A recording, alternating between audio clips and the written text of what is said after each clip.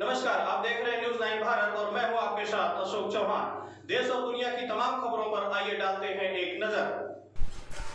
दिनांक 31 जुलाई 2020 को श्री रमेश कुमार पुत्र स्वर्गीय बाबूराम निवासी हमजापुर थाना सराय ख्वाजा जिला जौनपुर से ने शिकायत दर्ज कराई कि अभियुक्तगढ़ चंद्रभूषण सिंह, पुत्र राम अवतार सिंह, निवासी बाबू खजूरी, थाना मेनगर आजमगढ़, इंद्रेश कुमार पुत्र स्वर्गीय रामफेर निवासी करौती थाना मेनगर आजमगढ़, करमजीत मौर्य पुत्र अलरक मौर्य, निवासी ग्राम खालिसपुर, गोदाम थाना जैतपुर अंबेडकर नगर द्वारा मुझे और दिनेश राजभर, पुत्र ब्रह्मदेव राजभर, निवासी ताखा पश्चिम थाना सागन, जौनपुर को कूटरचित दस्तावेज़ एवं फर्जी वीडियो दिखाकर हम लोगों से पाँच लाख रुपए की ठगी कर लिए हैं, जिसके आधार पर थाना स्थानीय में विभिन्न धाराओं में मुकदमा पंजीकृत कर छानबीन शुरू की गई।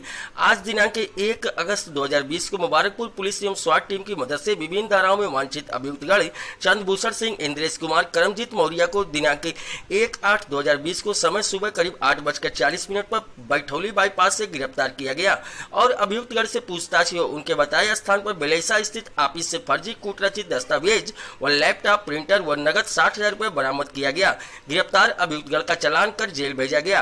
विवेचना के दौरान पूछताछ एवं साक्ष्य संकलन के पश्चात पता चला कि नामित अभियुक्तगढ़ का जालसाजी का एक संगठित गिरोह है, जो मुबारकपुर के राम जानकी मंदिर की मूर्ति चोरी का साजिश करता गैंग है, जो भोले वाले लोगों को आजमगढ़ एवं आसपास के जिलों में ऐतिहासिक एवं प्राचीन मूर्तियों एवं प्राचीन सिक्कों में राइस पुलिंग का पावर दिखाकर प्रभाव में लेता है और उनसे उन मूर्तियों एंटिक आइटम की चोरी कराकर उन्हें बेचकर रातों रात अमीर बनने का सपना दिखाता है। ये गैंग तमाम लोगों को पेट्रोल पंप गैस एजेंसी एवं शस्त्र लाइसेंस दिलाने के नाम पर भी कूटरचित दस्तावेज़ दिखाकर ठगी करता है। इस अभियोग का वादी रमेश कुमार लेखपाल है। वह दिनेश निजी विद्यालय का संचालक है। बरामद साठ हज़ार रूपए वहीं से ठगी का अवशेष है जो उन्होंने पीड़ित से करीब दस दिन पूर्व ही लिया था। Bureau report Amit Khairwar.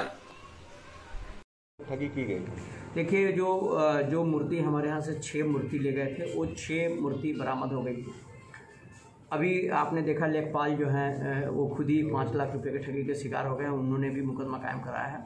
इस तरह से करीब एक बुरा डॉक्यूमेंट्स मिला है और डॉक्यूमेंट्स पे जिन लोगों का ठगी किया है, उनके नाम और पते हैं, इसको अब हम वेरीफाई करेंगे एक एक आदमी से पूछेंगे कि आपसे कितना लिया, आपसे कितना, क्योंकि ये डॉक्यूमेंट के, डॉक्यूमेंट से ही पता चला कि लेखपाल भी ठगी का शिकार हुआ है। तो इसमें जितने लोगों से साइन डॉक्यूमेंट्स है, अब हम सब पे वेरीफाई करेंगे कि उन, उनको कितने रुपये का ठगी का शिकार इन्होंने बनाया है।